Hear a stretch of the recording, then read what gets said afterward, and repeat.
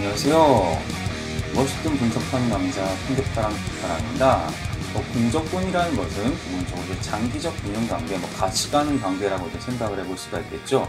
근데 패널 분석에서 이제 어, 두 변수가 공적분 관계가 있다고 했을 때, 공적분 벡터가 이제 존재한다고 했을 때, 그럴 때에 대해서 이제 회귀 분석을 이제 어떻게 수행하는지에 대해서 제가 뭐 동적 최소 제곱법이라든가 뭐 통합 그룹 평균이라든가 뭐 DOLS, 뭐 PMG에 대해서 예전에 제가 말씀드린 바가 있습니다. 어, 그 중에 하나로서 오늘은 어, 완전 수정 최소 제곱법 FMOLS라는 것에 대해서 오늘은 살펴볼 수 있도록 하겠습니다. 뭐 Fully Modified OLS 뭐 이것의 이제 약자라고 생각을 하시면 되겠고요.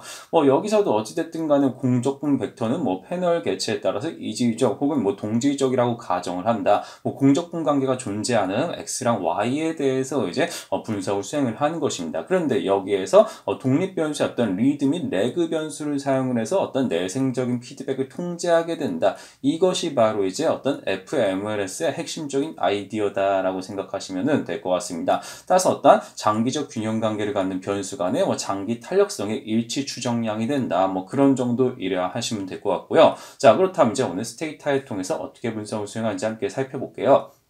일단 이제 xtcointreg이라는 게 있거든요. 이것을 이제 findit을 통해서 먼저 다운을 받아 주셔야 된다. 그것을 기억하시면 될 것 같고요. 뒤에 보시면 이제 dlead랑 dlag라는 게 있죠. 이것이 바로 이제 어 lag 값과 이제 뭐 lead 값, lead가 이제 미래고 lag가 과거 값이잖아요. 이것을 이제 투입한 어떤 회귀 모형이 된다. 그것을 기억을 하시면 좋을 것 같습니다. 자, 그렇다면 어떻게 분석이 수행되는지 함께 살펴볼게요.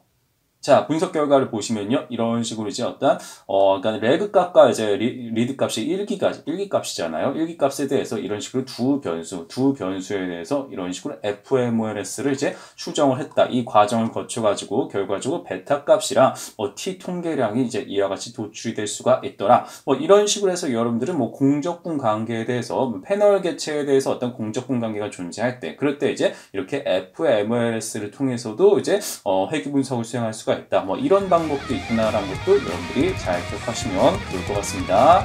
네, 오늘 내용은 여기까지 하겠습니다. 감사합니다.